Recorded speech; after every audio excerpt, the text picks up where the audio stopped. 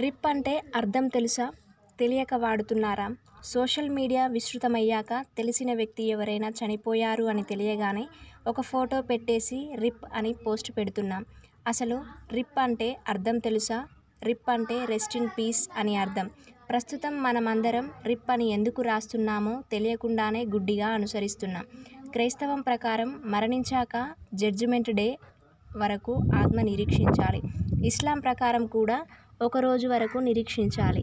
ఆ రోజు వరకు ఆ ఆత్మ ప్రశాంతంగా విశ్రాంతి తీసుకోవాలని మనం ఈ రిప్ ద్వారా కోరుతున్నాం. మరి సనాతన ధర్మం ప్రకారం ఆత్మ నాశనం లేనిది ఆత్మకు అలసటే లేదు. అలాంటప్పుడు విశ్రాంతి ఎక్కడా? అలాగే మరణాంతరం జీవి పాపపుణ్యాల్ని బట్టి తరువాత జన్మ పొందడము స్వర్గ నరకాలకు వెళ్ళడమో మోక్షానికి వెళ్ళడమో వంటి ప్రతిచర్యలుంటాయి. మోక్షం వరకు ఇది ఒక చక్రంలాగా తిరుగుతూ ఉంటుంది.